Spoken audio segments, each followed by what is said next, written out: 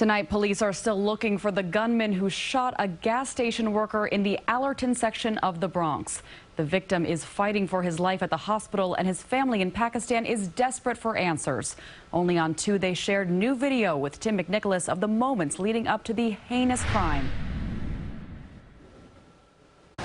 Doctors at Jacobi Hospital are trying to save the life of Zulfikar Ali Albi, a gas station employee shot on the job a few days ago. His family is thousands of miles away in Pakistan. They will let us know that is there any possible um, uh, damage to his brain. And his nephew, Mahmoud Sarfraz, says they are relying on a family friend in the U.S. for updates. The main problem we are getting, you know, uh, that there's no immediate family members available there in States. We are just trying our best. We're trying to contact all the authorities. Video obtained by CBS 2 from just before the shooting shows three people inside the gas station. A man approaches the closed door, appears to point at something near the pumps, and then Ali Albi opens up. One of the other employees told CBS 2 off camera the gunman did not say anything before he fired, then ran away. So we thought that it was clearly something which was planned.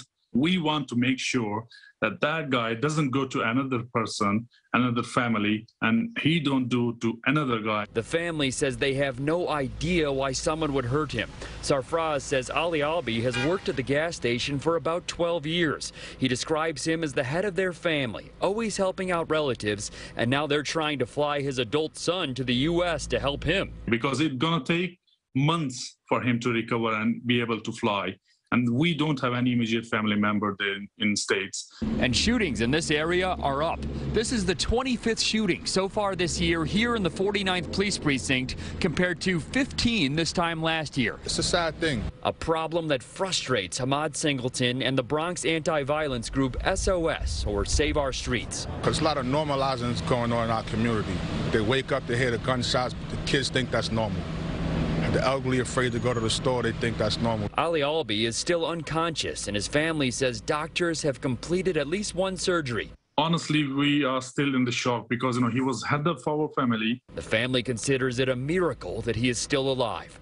Tim McNicholas, CBS 2 News.